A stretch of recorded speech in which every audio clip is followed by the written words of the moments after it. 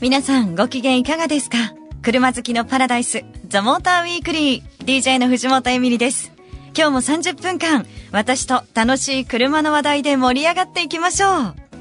さあ、今回のザ・モーター・ウィークリーは、もっと知りたいアメリカ車と題してお送りします。コメンテーターはこの方です。桂真一さんです。よろしくお願いします。はい、よろしくお願いします。ご無沙汰してます。ご無沙汰してます。はい。桂さん、相変わらず。相変わらず、ね、はい。いろんなとこ行ってますよ。ね、なんか今日ちょっとそのお話を伺いたいななんて思ってるんですけど。はい。え、なんかあの、シベリアンハスキーと海外で遊んできたって聞いたんですけど。いやいや遊んできたんじゃないんですけども、まあまあまあ、たまたまその、試乗会行ったアトラクションとしてね、はい、犬ぞりに乗せてくれることがありまして、うん、寒いとこ行ったんですけど。ね、犬ぞりができるってどこの国なんですか？フィンランド。フィンランドまた随分遠くに 全然なんかね、あのー、前々回かな？福島さんにスウェーデン教えてもらったんですけど、この放送で、はいはいはい。でもフィンランドもまたきっと独特なんですよね。どんな感じなのかなって。あのね、いやいや、もちろん、零下30度、40度の世界ですから、はい、寒いんですけども、ただ、やっぱり、その空調がしっかりしてるのと、うん、むしろね、えー、日本にいる方が寒さ感はあるかな。あ、そうなんですね。うん、あの、ホテルとか、その建物の中は、うん、T シャツで入れるぐらいあったかいんですよ。あ、そうなんだ。空港の中も一生懸命歩くと、ええ、荷物取りに一生懸命歩くと、ちょっと汗ばむぐらい。ええ、そういうとこはすごいですね、やっぱりね。うん、ですよね。あと驚いたのは、はい、街中をトラック、バス、車、あのね、すごい勢いで走ってるんですよ。北海道みたいな感じなのよ。うんうん、道としては、はい、だから、雪氷があるんだけど、なんでそんなスピードで行って止まって曲がってね、ちょっと怖いよって思うぐらいのね、勢いで走ってんですよ。えー、みんなすごいスピードが速いんだ。出しちゃうんですよ。ええー、やっぱその慣れてるというかそこで育ったからってことですかね。かなと思ったんですけど、うん、あのね、スパイクタイヤでした。あ、タイヤが違ったってことですかそう。あ、スパイクタイヤは、もう道に、道にというか雪とか氷にがっちり噛むので、はい、あ、なるほど、それならそんだけ出しても止まれるわねっていうね。うそういう、あの、タイヤの違いがありましたね。あ、そうなんですね。うん、なるほど。まあじゃあ、桂さんもそのぐらいのスピードでスパイクタイヤだったらいけたぞっていうことですよね。あ、まあだから仕事としてはそういうことをやりに行ったんだけど。そうですよね、はい、そもそも仕事で行ったんだっていう話ですよね。ハスキーと遊び行ったわけじゃないそうですよね、はい。はい。ということで、ちょっと今日はですね、私の海外の話なんかも聞いていただきたいなと思いつつ、はい、ぜひいろいろ教えていただきたいと思います。はい、よろしくお願いします。はい、こちらこそ。ザ・モーターウィークリーでは皆さんからのメッセージを募集中です。メールアドレスは mw.interfm.jp mw.interfm.jp 番組の感想はもちろん、こんな車を特集してほしいなど、何でも結構です。お待ちしています。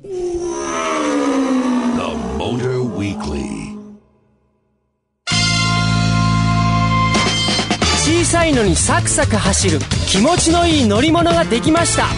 軽自動車は走らないという思い込みをこの1台が変えていきます。 New Next 日本乗り物。プレミアムな K-N1 誕生ホンダ。私 C3PO と申します。おい、アルツ、どこか出かけますか？え？こいつに乗ってそんなに遠くまで？この乗り物だって私たちと同じ。電池が切れたら動きませんよ。大丈夫なの？それは電池が切れてもハイブリッドで走るプリウス PHV。プリウス PHV は全てのトヨタのお店へ。道はまだある。カーナビも大型 8V 型画面で高画質フィットセレナステップワゴンのインパネに美しくジャストフィットスマホで調べたスポット情報も Bluetooth で簡単送信迷わず選ぼうパナソニックストラーダ L シリーズ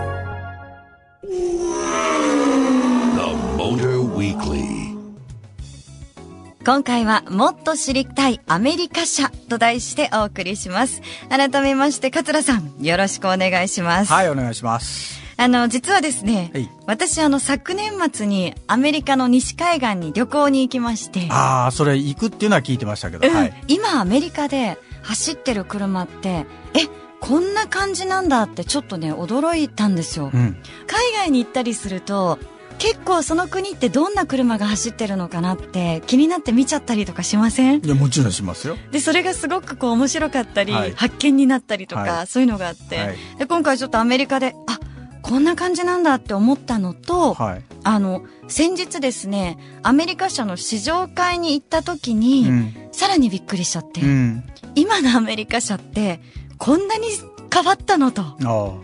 でそこでですね、まあ普段私あのチェロキ？ー、はい、チェロキー乗ってますので、えー、カルチャーショックを受けまして、まあ桂さんにあの最新のアメリカ車のことをい。ろいろ教えていただきたいなと。はい。はい。な、なんで、ちょっと何ですか？それ興味なさそうな感じ。いやいや違う違う違う。そのね、どういうふうにアメリカに行って、うん、アメリカのそのフリーウェイ走って、ええ、どう感じたのかなっていう方が興味あるなと思って。なんかもちろんいろんなこう国の車が走ってましたけど、うん日本車もやっぱり多いんだなと思って。多いですね。うん、で、うん、あの、プリウスも多いよ。ね、で、あと、フィット、うん、フィットまで行く。うん。そんな小さくなってる。そう。でね、あと、ヤリス、ビッツ、これビッツですよね。でねうん、で、あと、あの、アクア、うん、これ、アメリカでプリウス C っていう名前だってことで、アクアも結構走ってて、そう、さっきだから桂さんね、今お話ありましたけど、私、大きな車ばっかりだと思ってたんですよ、アメリカって。でも今、すごい小さい車に乗ってる人も。はあ。いや、それはね、いや、僕も逆に、あの、驚きました。僕、何年、えっ、ー、と、ちょっとすぐに思い出せないんだけど、何年間か前しか行ってないので、えー、今その、どう変わってるかがよくわかんなくて、逆に聞きたかったのはそういうことで。でもね、本当にね、たくさん見かけました。うん。え、でも本当そのアメリカ車自体が変わってきてるのかなっていうふうに思ったんですけど、うん、どうなんですかね、これ。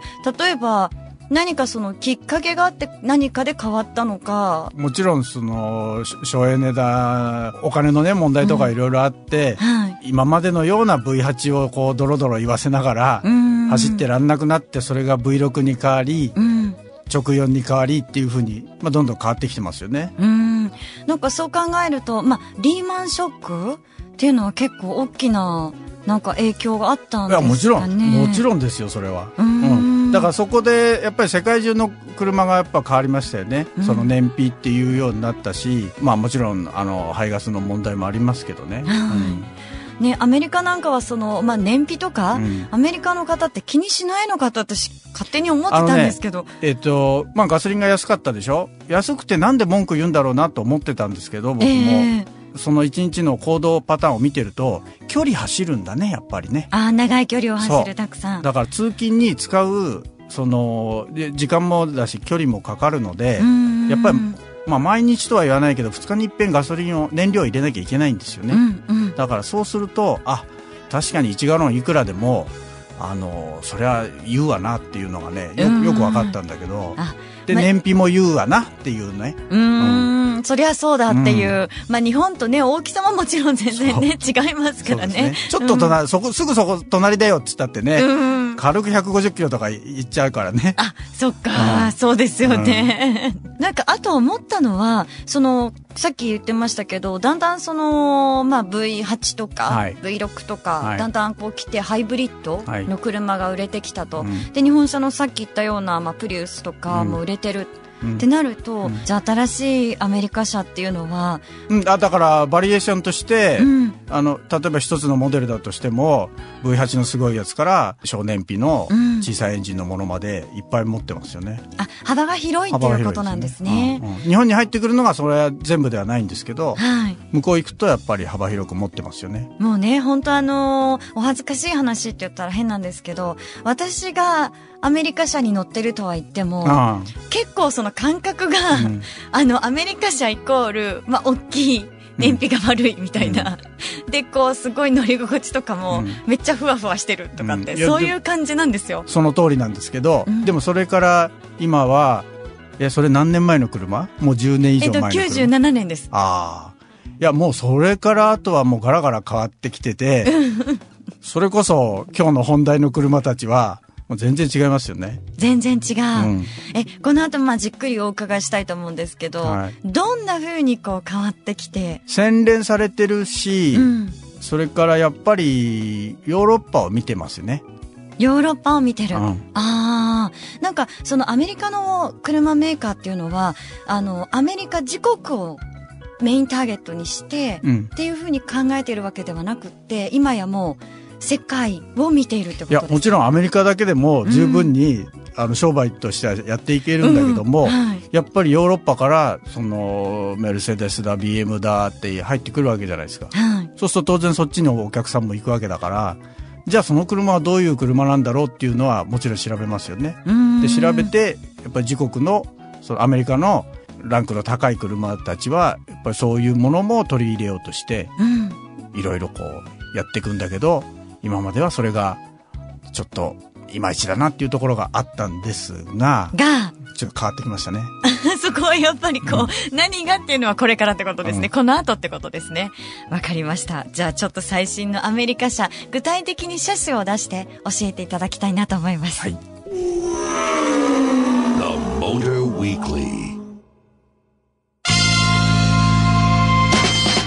さいのにサクサク走る気持ちのいい乗り物ができました。軽自動車は走らないという思い込みをこの1台が変えていきます。 New Next 日本乗り物。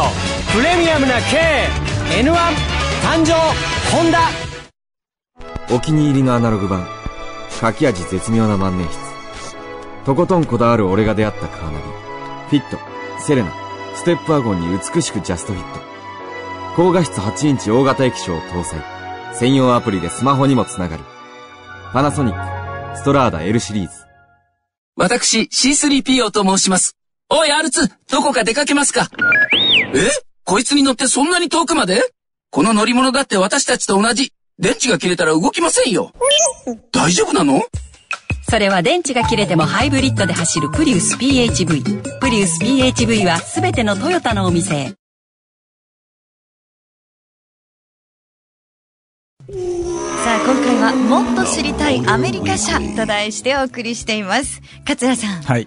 ね、アメリカに行ったお話とかいろいろ聞いてもらって教えてもらいましたけど、はい、実は私日本で試乗会でですね、うん、乗っております。はい。はい。はい、で、桂さんもあの、乗ってるということで、ちょっとここからはお互い、はい、まあ、私のなんだろうな、拙いインプレッションを聞いてもらって、うんはい、またそんなっていうのを突っ込んでもらえればなと、嬉しいなと思うんですけど、はい、何が来るか楽しみですね。ええ新世代のアメリカ車。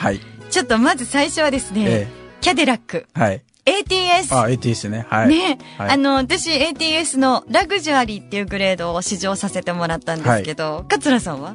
えー、同じ。同じ。はい。あ、わあ、桂さんとインプレッション同じだといいな でもね、それはね、違って当然で、うん、人だから、それぞれ自分がこう感じる感じ方が違うわけじゃないですか。はいはい。じゃあ、ちょっと遠慮なく、うん、うん、私も行きたい。違ってんだろうなって。もう最初からね。はい、まあまあ、ATS は、はい、あのー、まず、キャデラックの中で、最も小さいサイズの車。そうですね。ですよね。はい、で、私もキャデラックイコールやっぱり大きいってイメージがやっぱりあったんですよ。うん、だからキャデラックからまずこんなサイズが出たんだなっていうことがびっくりした。うん、はい、まずこの ATS って、えっ、ー、と、セグメントで言うと、うん C とか D とか？そうですね。あの、C とか D って、それ言い方がね、いろいろまちまちなんですけど、うん、メルセデスで言うと C クラス、BM の3シリーズ、うん、アウディの A4、レクサスですね。うん。うん、そのあたりがライバルになってくる。ね。うん、っていうことは、うん、まあまあ、ドイツのプレミアムブランドと、うん、まあ勝負するような形になるわけですよね。で、ね、実際に車に乗って運転したら、これが本当にびっくりしました。どうびっくりしたのアメリカ車なのって思った。はい。さっきも言ってましたけど、ふわふわ感がないじゃんと思って、うん。うん、まあこんなね、拙い感じですけど、その、ものすごくしっかりしていて、ドイツ車に乗ったような時と同じなのかなって、驚きました。ですよね。そこがね、もう、もうまさにね、言う通りで、本当に ATS って、す、すごくこう、ボディの引き締まった感じがあるし、サスペンションも、硬いけど柔らかいところがあって、でもふわふわしてないでしょ？だから、これをキャデラックって言うと、キャデラックに対するイメージを持ってる人たちが、ちょっと食いつかないかなって思うところはあるんですね。そこでハテナがちょっと出ちゃう。でも、これはね、ぜひ乗ってみて、あ、キャデラックもこう変わるんだなっていうところをね、あの、感じてもらえると、いいと思うんですけど実はねこれ ATS が変わったわけじゃなくて、えー、一つ前の CTS からもうこういう方向に行ってるんですよ。あじゃあ CTS の時からそういったこうしっかりした感じっていうのがあったんですか、うんうん、そうなんです。あのよく番組でも出てくるドイツのニュルブルクリンクっていうサーキットで、はい、あの実は GM っていうかもうキャデラックももう何年も前からテストしてるんですよね。だそういうところでテストするとドイツ車と同じことですから、うん、まあこうなって当然というかこうなってくれなきゃ困るんですよね。あこういうしっかりした車ができないと。ああ、うん、まあまあアメリカで生まれて、ニュル育ちってことじゃないですか。そうですね。そうするとやっぱりその、まあドイツ車のテイストが入ってくるんでしょうけど、うん、私ね、あの運転していて感じたんですけど、こう走ってても室内が本当に静かだったんですよね、はいはいはい、だからそういうところもなんかすごく上質なんだなっていうふうに思ったんですけど、うん、あのしっかり感を感じたりとか、うん、そういう静かさを感じるっていうことは、うん、ボディっていうものにも関係してくるんですか？もちろん関係してきますね。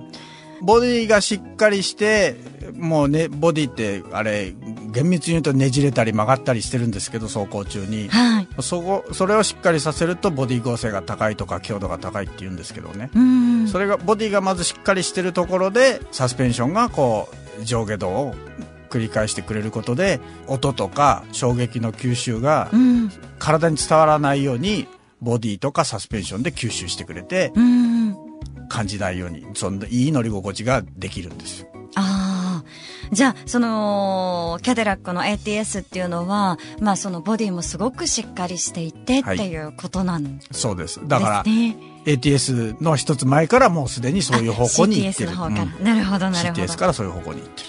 でね、桂さん、はい、あの、エンジンなんですけど、はい、キャデラックの ATS、うん、あの、キャデラックで2リッターのターボエンジン。うんこれってどうなんですか？キャデラックもともと最近はこういう感じなんですか？いや、あの、小さいですよ。昔はだって8.2リッターとかね、うん、乗りましたけど。8.2リッター。うん、8.2リッターから2リッターに、ってすごいなんか変化だなと思って。うん、まあ、それはもちろん、あの、燃費の問題とか、環境性とか、でも、やっぱり、えー、環境にも関係するけども、速さも必要だっていうことでターボチャージャーつけたりして、はい、2リッターターボですよね。うん,、逆に私は、その、もものすごいパワーがある車だっていうふうに思ってたので、うん、もう ATS も。はい。なので、そのパワー感っていうのは全然私のレベルでは、うん、いや、ものすごいんだろうな、このエンジンもって思ってました。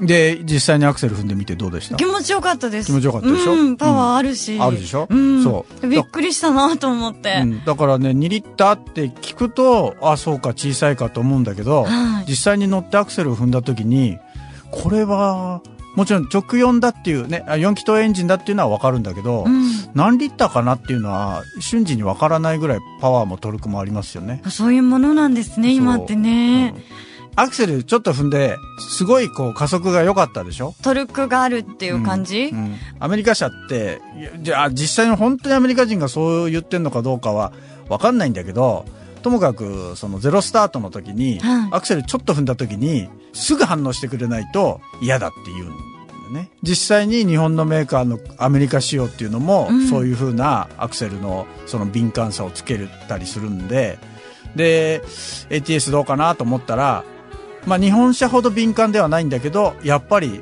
アクセル少し踏んだところからこうドッと加速する感じが早いよね。うん、ん、それは私結構そのちょっと前のアメリカ車とかっていうのもそういうものなのかなって思ってたんですけど。ちょっと前は、やっぱり排気量があったので、ええ、その少し踏んだだけでも、もともとの、当然。エンジンのトルクもパワーもあったのね。まあまあトルクなんだけど。うんうん。だから、それはね、本当に、そこがまあアメリカ V8 の良さとか言うんだけど、うもうちょっと踏んだだけでドドドドドっていう走った、それがね、本当にアメリカの、アメリカ車の気持ちよさだったんですけど、まあでも、それは2リッターになったから、4, 4気筒になったから、なくなってるかっていうと、そんなことはなかったね。その感覚なくしちゃったらアメリカ人はそっぽ向くよね。うん、ああ、だからこそちゃんとこう残してるっていうことはやっぱりすごいですよね。いや、でもちょっと面白いな。いろいろこうやって話聞いていくと、あの、まだまだ聞きたいなと思うんですけど、はい、もう一台ちょっと行きたいです。そうですね。うん。私もう一台に乗ったんですよ。はい。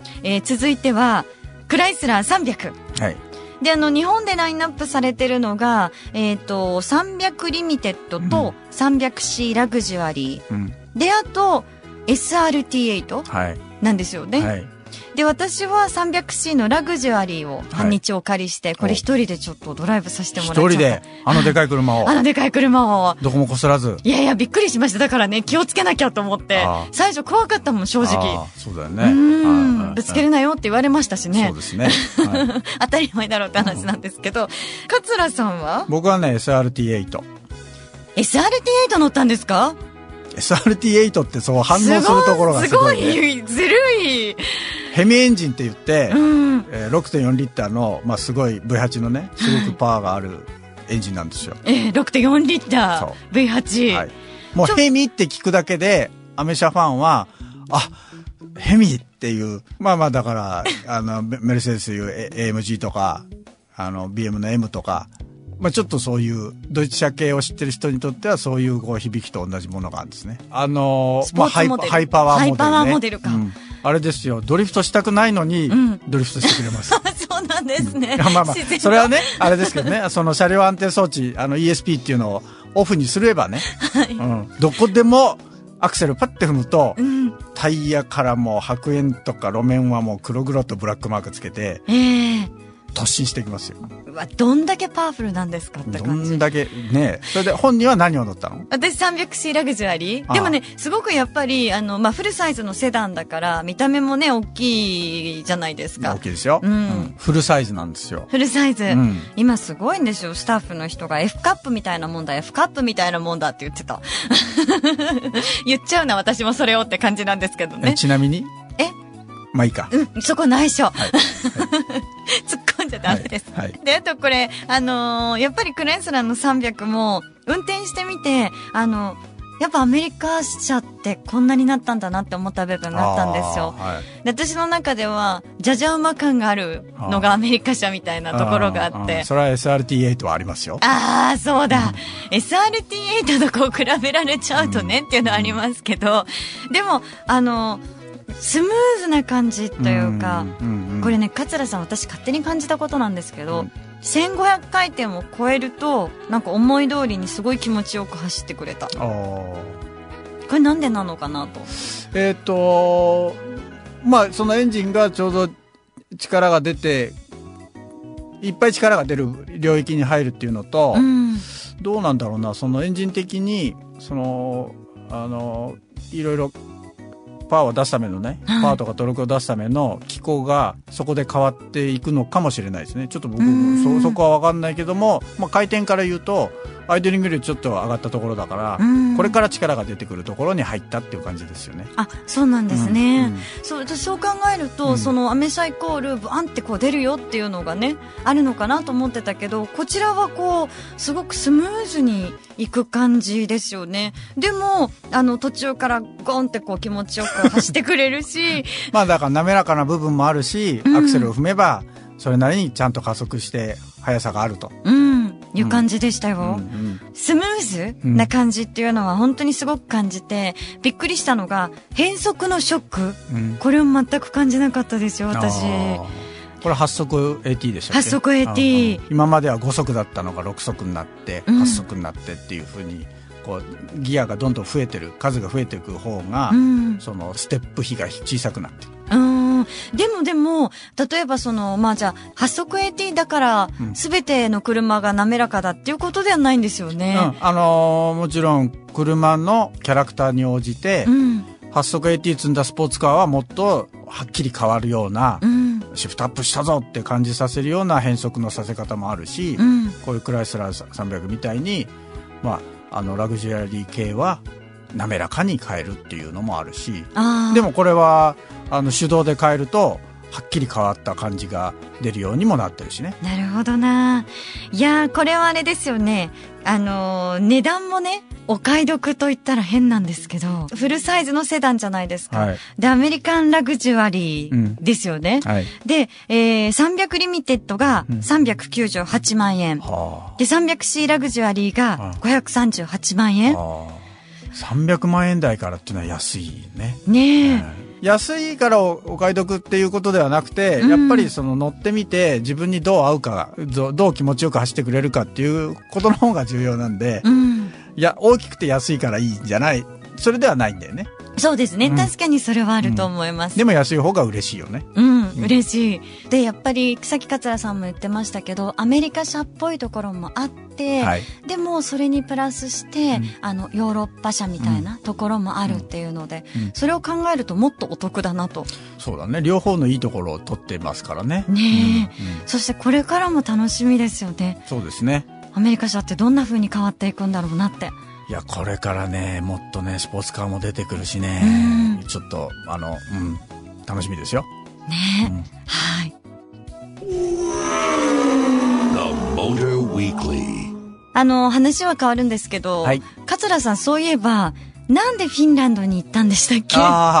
遊びに行ったわけじゃないんですよね。よ。はい。あのー、超高級車のベントレーっていう車の、えー、アイスドライビングスクールみたいなね、まあ、あの、パワーオンアイスって言うんですけど、うん、こう凍った湖の上にコースを作って、はい、で、ベントレーって四輪駆動なんですね。ええ、だからそこを本当にこうドリフトさせまくって、ええ、まあ、楽しむプラスベントレーのその走行性の安定性の良さと、あとはそのお客さんたちにその滑る体験をさせて、まあ、楽しんでもらうっていうね。ええー、もうツルツルの中です。ツルツルですよね。ツルツルですけど、うん、あの、ベントレーも670馬力あるエンジンなので、えー、あの、日本のスタッドレスでは当然、あの、駆動かかんないんですね。うん、だからスパイクを270本とか、ええ、しかも何千万もする車を雪の壁にドカンって突っ込みながら。えー、そんないいんですか？いやでもお客さん呼ぶから、うん、あのもちろんいいんですけど、まあ、そうやってあの世界のねメーカーは走る場所も提供して、まあ、自分のところのその車の良さを伝えてますよね。あうん、だから日本ももっとそういうことしなきゃいけないと思うな。ああ、そうなんですね。うん、え、桂さん本日はありがとうございました。はい、どうもありがとうございました。え今日の収録オフショット写真などは番組ブログに掲載していますので、ぜひチェックしてください。えそして皆さんからのメールもお待ちしています。番組へのご意見、ご感想、愛車自慢や今乗りたい車なども一緒に書いて送ってくださいね。アドレスは mw.interfm.jp mw.interfm.jp です。さて来週はいよいよです。今シーズンの開幕戦が3月17日に迫った F1。F1 の開幕直前情報を F1 速報誌編集長の田中浩二さんに紹介してもらいます。30分丸ごと F1 です。どうぞお楽しみに。ザ・モーターウィークリー。お相手は藤本エミリでした。また来週。